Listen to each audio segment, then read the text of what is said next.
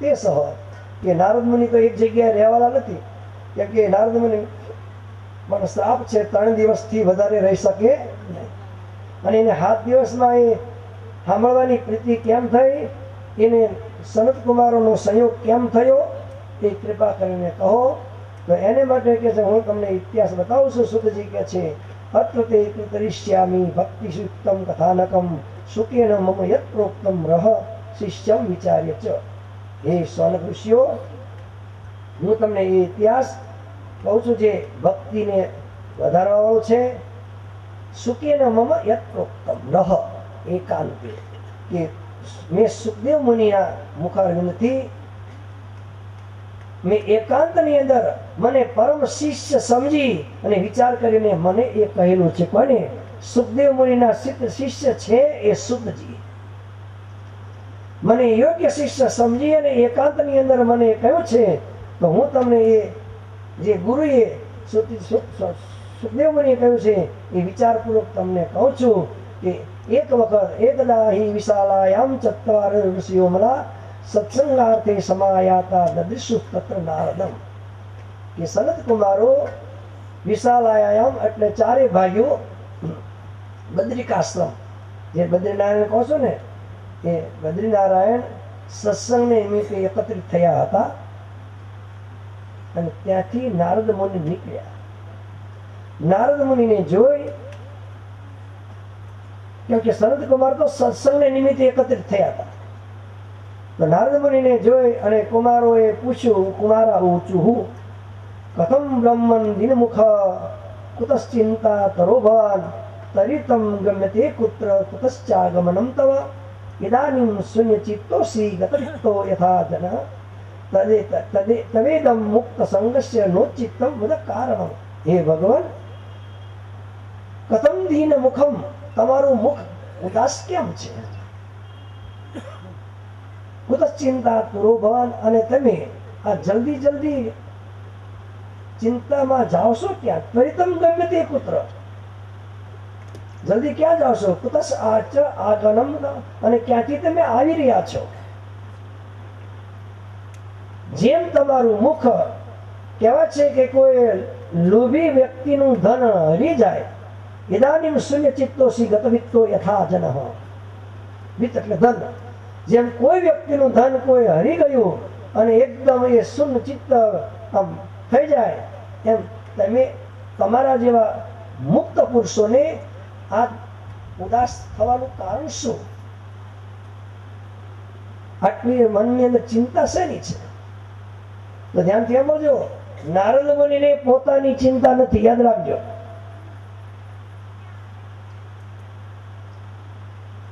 કેમ કે બીજાનું દુઃખ કેમ દૂર કરવું, એ જ મહાપુરુષોનું મનની અંદર ચિંતાનું કારણ હોય છે. કેમ કે મહાપુરુષોનું હૃદય એ નવનીતની ઉપમા ઉપમા પણ આપી શકાય નહીં નવનીત સમજો નવનીત એટલે માખણ માખણને પરદ્રવ જ્યારે બીજી અગ્નિ તમે આપો ત્યારે માખણ એ ગરમ થાય જ્યારે મહાપુરુષોને બીજાનું દુઃખ જોઈને પોતાનું હૃદય દ્રવીભૂત થઈ જાય. સંત હૃદય નવનીત સમાના. સંતનું હૃદય એ નવનીતથી સમાન છે. પણ કહેવાય છે કે નવનીતની સમાન ઉપમા આપી શકાય એમ નથી. માખણને ગરમ કરો, ત્યારે એ ગરમ થાય, અગ્નિનો તાપ લાગવાથી. જ્યારે મહાપુરુષનું હૃદય બીજાનું દુઃખ, બીજાની એ ગરમીથી એ પોતાનું હૃદય એ ગરમ થવા લાગે. કે આ દુઃખ એ દુઃખી કેમ થાય છે? આનું દુઃખ કેમ નિવારણ કરવું? અને જ્યાં સુધી આપણું પણ હૃદય જો એ બીજાનું દુઃખ જોઈને દવીભૂત ન થાય, ત્યાં સુધી સમજો કે આપણે જીવનમાં કંઈ પણ કરી શકવાના નથી. ભલે ગમે એટલો પૈસો હોય, પણ જીવનમાં શું? પોતાના જીવનની અંદર આત્માના કલ્યાણ માટે પોતે શું કર્યું? ઘણા કે ફલાણા ભાઈ આમ કર્યું ફલાણા ભાઈ આમ કર્યું કોઈ જગ્યાએ મનને શાંતિ થાય એવું જોયું અને આજે તમે જગતમાં જુઓ, દુનિયાની અંદર ગમે ત્યાં ફરો કે શાંતિ ક્યાં છે? ચાલીસ વર્ષ પહેલા, પચાસ વર્ષ પહેલા બોલો, નક્કી કરો, કેટલી ધન સંપત્તિ હતી આપણી પાસે?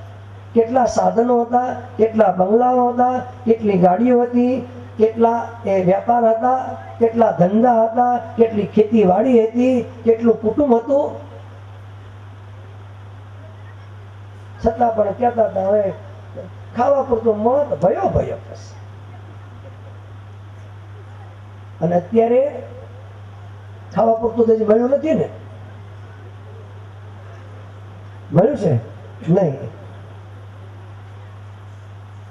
છતાં પણ એ શાંતિ જ્યાં સુધી મનની અંદર શાંતિ નથી, ત્યાં સુધી ભગવાનની વાણી અનુસાર ભગવાન કે અશાંતસ્ય સુખમ જ્યાં સુધી મન શાંત ન થાય, ત્યાં સુધી સુખ મળતું એને માટે નારદ મુનિ કહે છે, મેં કોઈ જગ્યાએ મનને સંતોષ થાય એવું જોયું નહીં. કેમ?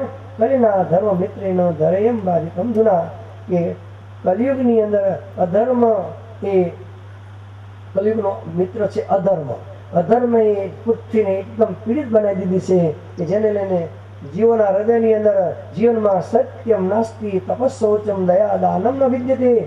ઉદરમ વરિણા જીવા વરાકા કુટ ભાષિણા જીવોની અંદર સત્યતા રહી નથી. પછી તપસ્યા, કોઈ સહન શક્તિ રહી નથી, પવિત્રતા રહી નથી, દયા કરવાની કોઈ જીવ ઉપર દયાની ભાવના નથી, દાન દેવાની ભાવના થતી નથી કેમ કે ઉદરમ ઉદરમ ભરીણા જીવા કેવલ પોતાનો ઉદર ભરવામાં જીવો એ રચ્યા પચાર્યા છે. અને વરાકા કૂટ ભાષીના અને એ ઉદર ભરવાને માટે છળ કપટ કરી અને પોતાનું એ ઉદર ભરે છે. મંદા સુમંદ મતયો મંદ ભાગ્યા ઉપદ્રુતા પાખંડ નિરતા સંતો વિરક્તા સ પરિગ્રહ જીવો મંદ બુદ્ધિના બની ગયા મંદ ભાગ્ય બની ગયા અને આળસી બની ગયા અને પાખંડ નિરતા સંતો જ્યાં જોયા પાખંડ વધી ગયો જ્યાં જોયા પાખંડ અને કહેવાય છે કે અમે ભક્તિ કરીએ છીએ તો ભક્તિ વધે છે કે પાખંડ વધે છે? નક્કી ક્યારે વિચાર કર્યો? પાખંડ કોને કહેવાય?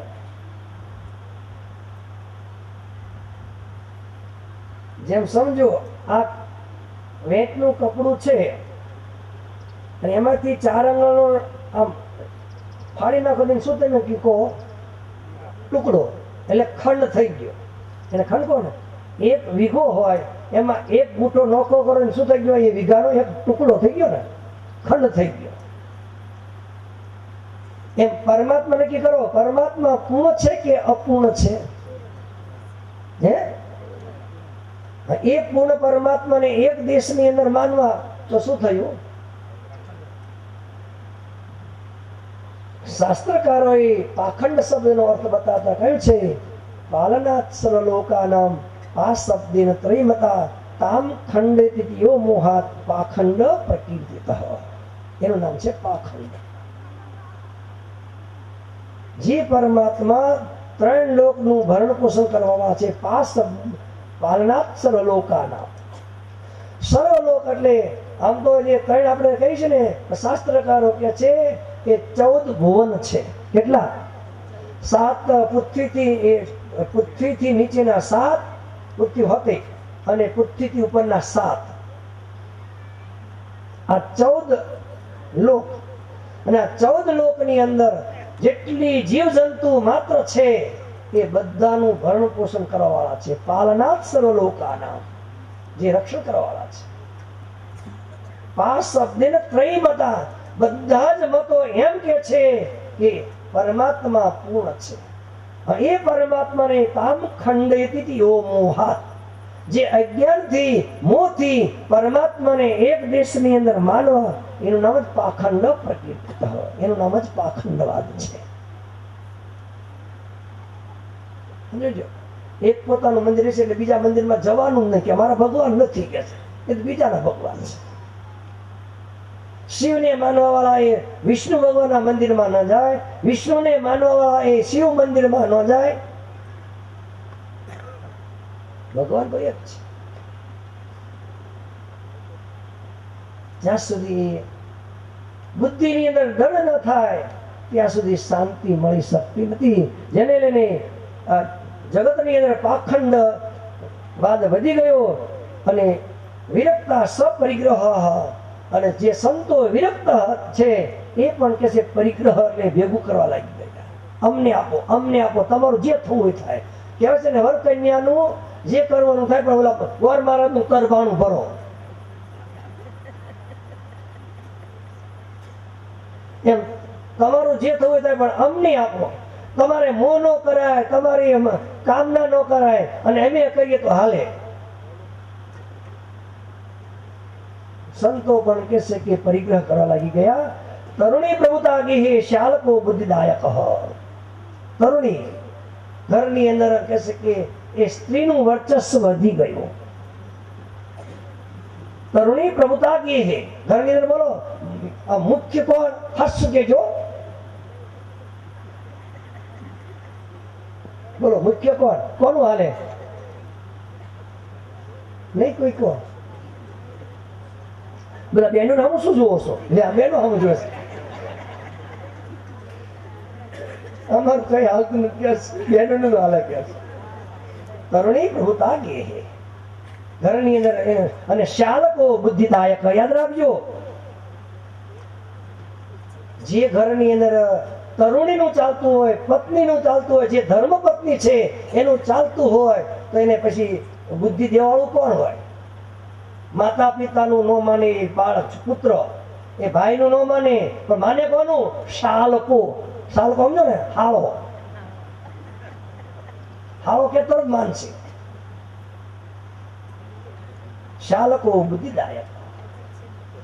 કન્યા વિક્રેણો લોભા દંપતિ નામ છે કલકલમ નારદ મુનિ સુપ્ત સનત કુમારોને કહે છે કે, હે ભગવાન, આજે જીવો જગતની અંદર કન્યાનો વિક્રય એટલે વેચવા લાગ્યા. અને આ તમે કલયુગની અંદર જુઓ, એક એક કન્યાને ત્રણ ત્રણ વખત પરણાવે છે. અને એના પૈસા લઈને માતા પિતા એ એ આરામ કરે છે. જ્યારે પહેલાના જમાનામાં એ માતા પિતા જ્યારે ભલે કશું નહોતું, ખેતી ઉપર એ આખું જીવન હતું, છતાં ચાર ચાર એ કન્યાઓને, ચાર ચાર એ પુત્રોને એ પરણાવતા હતા કન્યાને પરણાવતા હતા, કંકુ કન્યા પરણાવતા હતા. શું કરતા હતા. ત્યારે એ કન્યા એ દાન વિધિ કહેવાય. કન્યાદાન કહેવાય.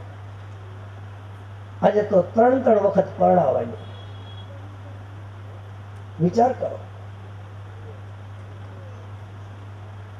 અને જ્યાં જો અહીંયા જેને લોભથી, પૈસાથી અત્યારે બધાને પૈસાનો મોહ છે હવાથી હાંજ સુધી એ જન્મથી મરણ સુધી એટલી બધી દોર છે કે હું એના કરતા કેમ આગળ આવી જાઉં? પણ સંસારમાં કે આધ્યાત્મિક માર્ગમાં એ વિચાર કર્યો ક્યારે? એ વિચાર કરતા હશો?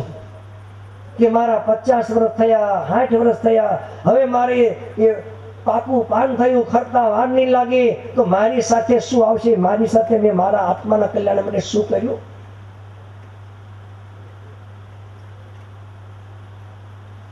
દંપતિ નામ છે કલ્કનમ.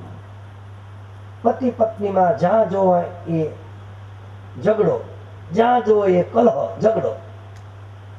જોજો તમે. લગ્ન કરે અને પછી આમ તો લગ્ન કર્યા પહેલા જે આપણે સંબંધ કરે ને. એ વખતે કેવી હોય, પત્ની કેવી લાગે? હાસુ કેજો બધા લગ્ન કર્યા પહેલા એ ચંદ્રમુખી. પછી લગ્ન કરીને આવે ત્યારે સૂર્યમુખી. અને છ મહિના થાય તો જ્વાલામુખી. એટલે તરત છૂટા છેડા. મારે એને બનતું નથી. હું એને લઈ જવાની. અને જાજાભાઈ કે તો એ કન્યાઓની માતા એ કન્યાનું એ ઘર ભંગાવે છે. યાદ રાખજો. આ બધી માતાઓને હું છે- આ શિખા પણ આપું છું. જ્યારે પહેલાના જમાનામાં તમે જુઓ, એ સીતા માતાને જ્યારે એ સુનૈના માતા એ જ્યારે વળાવી, ત્યારે એ શું એ જ્ઞાન આપ્યું છે શું બોધ આપ્યું છે.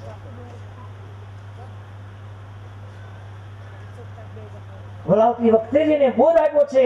પણ અત્યારે તો વળાવતી વખતે તો બોધ નથી આપતો ફોનમાં પછી પોગે એટલે ફોન તરત ચાલુ થઈ જાય.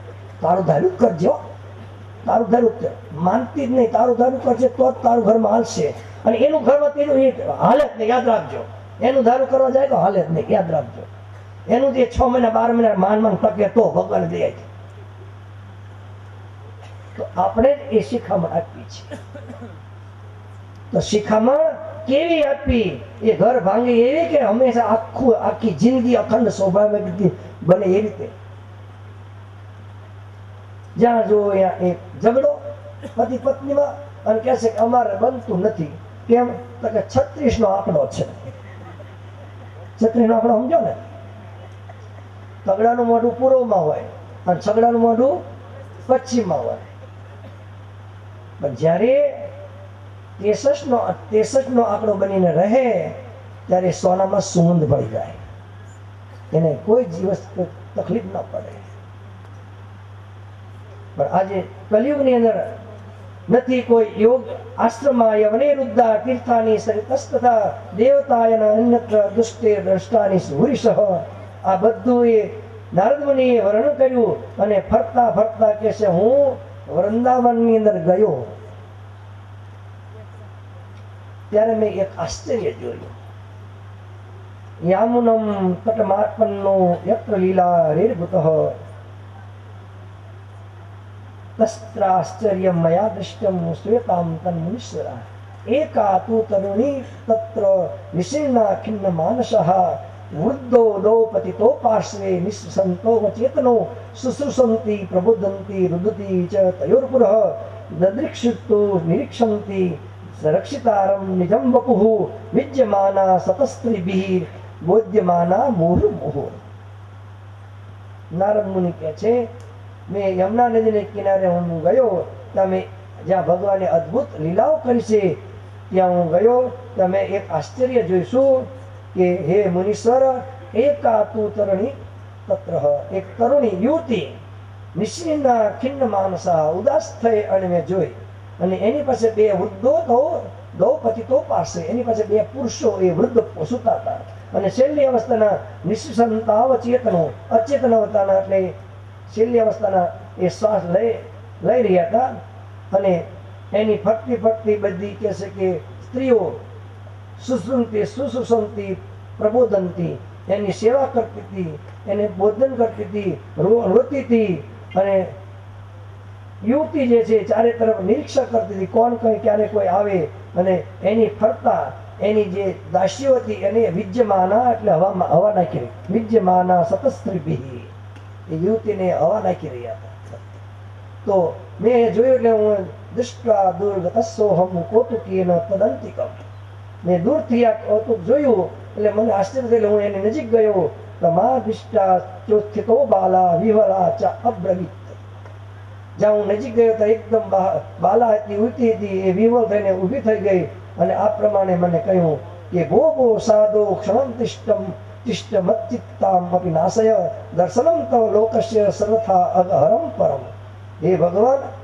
સાધુ, તમે થોડી વાર ઊભા રહો અને ક્ષણવાર એ ઊભા રહો તો મારા મનની અંદર જે ચિંતા છે એનો નાશ કરો. કેમ કે તમારા જેવા લોક, તમારા જેવા સંત પુરુષોના દર્શન કરવાને માટે તો જીવો લાલચ છે અને જે દર્શન કરવાથી સર્વથા પાપને હરણ કરવા છે. બહુદા તો વાક્યને દુઃખ શાંતિ ભવિષ્ય અને તમે મને થોડુંક વધારે કહેશો તો મારે એ દુઃખની શાંતિ થશે, દુઃખ નષ્ટ થશે અને મને શાંતિ થશે.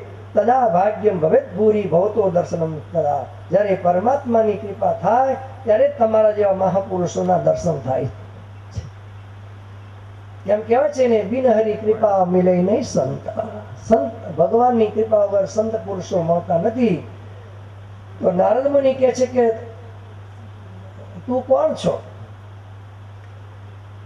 નાર્ય પાપ પદ્મ લોચના, જેની કમળ સમાન જેની આંખો છે, હે દેવી, હે યુવતી, તારા દુઃખનું કારણ શું? તું દુઃખી કેમ થા છો? તારું નામ શું?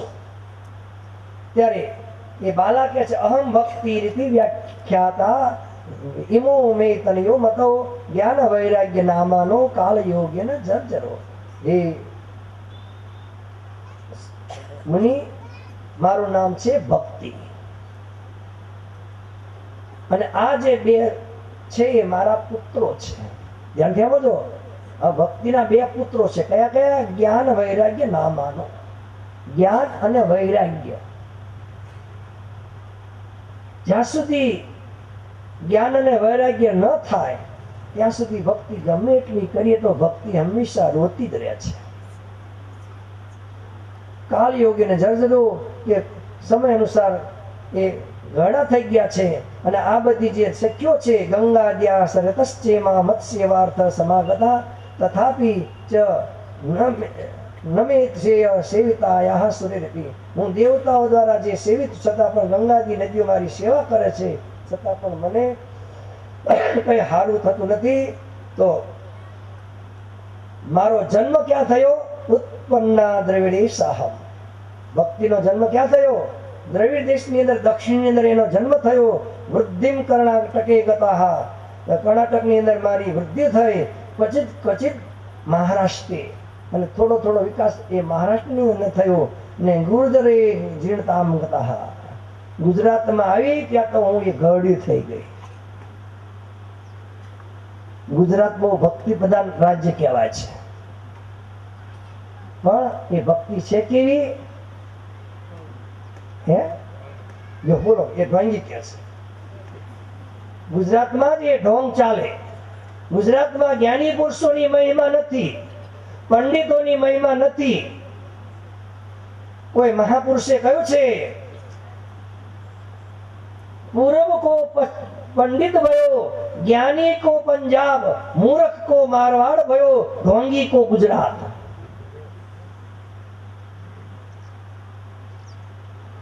ઢોંગ કરો તો તમારી ફાલી ફૂલી ભક્તિ ચાલે. અને અત્યારે એટલી બધી ફાલી ફૂલી ચાલી છે ઢોંગથી જ ચાલી છે. સમજવા માટે કોઈ તૈયાર નથી. ભગવાને બુદ્ધિ આપી છે.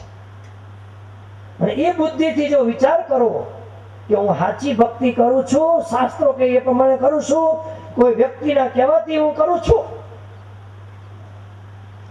જેને લઈ અને ગુજરાતમાં ગઈ તો હું ઘરડી થઈ ગઈ અને ત્યાંથી હું ધીરે ધીરે ધીરે ધીરે વૃંદાવન પુનઃ પ્રાપ્ય નવીન એવા સ્વરૂપીને વૃંદાવનમાં આવી, ત્યાં તો હું યુવતી બની ગઈ દેદીપ્યમાન યુવતી બની ગઈ.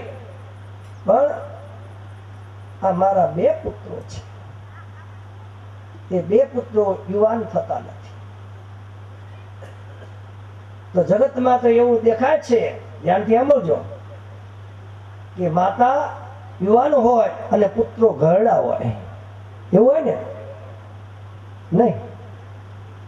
માતા ઘરડા હોય અને પુત્ર યુવાન હોય. તો અહીંયા ભક્તિ કે છે, જટતે ઘટ ઘટતે જઠરા માતા તરુણું તની આવી. માતા કે છે કે ઘરડા હોય અને પુત્ર યુવાન હોય, પણ મારું આનાથી વિરુદ્ધ છે. હું યુવાન છું, મારા બે પુત્રો એ ઘરડા છે. તો અત સોચામી ચાત્માનમ વિસ્મયા વિષ્ટ માનસ. વદ યોગી યોગ નિદેશ ધીમન કારણ ચાત્ર કેમ ભવે આનું કારણ શું? એ કૃપા કરીને હે યોગી, હે યોગ નિધિ હે બુદ્ધિમાન, એનું કારણ મને બતાવો. કેમ કે હું જવાન છું અને મારા બે પુત્રો એ ઘરડા છે. ને જ્યાં સુધી જ્ઞાન અને વૈરાગ્ય જીવનમાં ઘરડા હશે, ત્યાં સુધી ભક્તિ હંમેશા રોતી રહેશે, યાદ રાખજો. ભક્તિ કરજો, પણ જ્ઞાન, વૈરાગ્ય જુવાન બને, તો જ એ ભક્તિને આનંદ થઈ શકે છે. અને એ ભક્તિ કરો તો એ આનંદ દેવા વાળી થાય. એટલે ઘણા ભક્તિ કરે. પછી મંદિરે જાય કે કેમ છે? કે શું કરીએ? કે છે કે બહુ માનતી જ નથી કે એનું દારૂ કરે છે. પિતાને પૂછે તો કે છોકરો એનું દારૂ કરે કે તમારે કોઈ પૂછવાનું ને અમને? કઈ કહેવાનું નહીં, બોલવાનું નહીં. તો જેને લઈ નારદ મુનિ કહે છે, હે દેવી, હે યુવતી, તું ચિંતા ન કર, હું એને માટે ઉપાય કરું છું. ત્યાર પછી એક ક્ષણવાર એને પોતાના એ મનને સ્થિર કરી અને ભગવાનમાં જોડી અને કહ્યું કે ક્ષણ માત્ર તજ જ્ઞાતવા વાક્યમ ઊંચે મુનિશ્વર. એ ક્ષણવાર મનને સ્થિર કરીને પાછું જે ભગવાનની વાણી સંભળાણી એટલે નારદ મુનિ કહે છે કે, હે દેવી, તું ચિંતા ન કરીશ, કેમ કે અત્યારે કલયુગનો પ્રવાહ છે અને જેને લઈને જીવો બધા જ કહે છે કે પોતપોતાના કલયુગની અંદર પોતાના એ ધનની પાસે પડ્યા છે એટલે બધી જ એ યત્ર ફલમ નાસ્તી તપસ્યા તપ તપનું ફળ એ નષ્ટ થઈ ગયું છે યો ન યોગીને સમાધિના તત્ફલમ લભતે સમ્યક કલોકી સ કીર્તના પણ ભગવાનની ભક્તિ કરવાથી એ ફળ પ્રાપ્ત થઈ શકે છે અને આજે એ કથા સાર કથાનો સાર પણ જતો કેમ? વિપ્રે ભાગવતી વાર્તા ગેહે ગેહે જને જને કારિતા કર લોભે ન કથા સાર ગતો તતો ગત। આજે કથા કરવામાં આવે છે તો કે છે કે વેચ વેચાતી કરવામાં આવે વેચાતી સમજો ને જેને લઈને કથાનો સાર એ નષ્ટ થઈ ગયો આજે શિક્ષકો પણ એ વિદ્યાને વેચવા લાગ્યા વિદ્યાને વેચાઈ ગઈ ને જે વિદ્યાને વેચે છે એ શિક્ષક એક શિક્ષક રહેશે ગુરુ બની શકતા નથી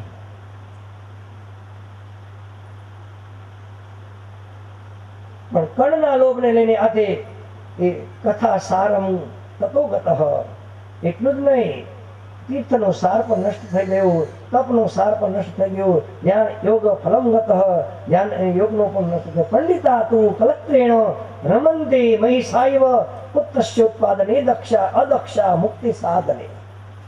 આજે પંડિત પુરુષો પણ જેમ અહીંયા તો એ શબ્દ કહ્યો, કલત્રેણ રમતે મહિષા. પશુ પક્ષી એટલે જેમ મહિષાને અહીંયા અર્થ છે પાડાને ભેંસનો.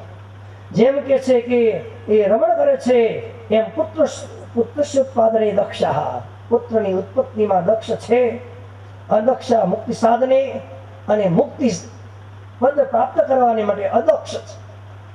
જેને લઈ તું ચિંતા ન કરીશ, અવશ્ય તારો એ જય થશે. આ વાક્ય સાંભળી ભક્તિ એમ થઈ નક્કી મારું દુઃખ દૂર થશે. જયતી જય જયતી જગતી માયા.